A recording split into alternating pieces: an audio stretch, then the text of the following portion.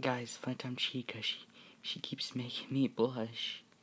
You know what? If Soak won't be me, I think I got myself a new crush.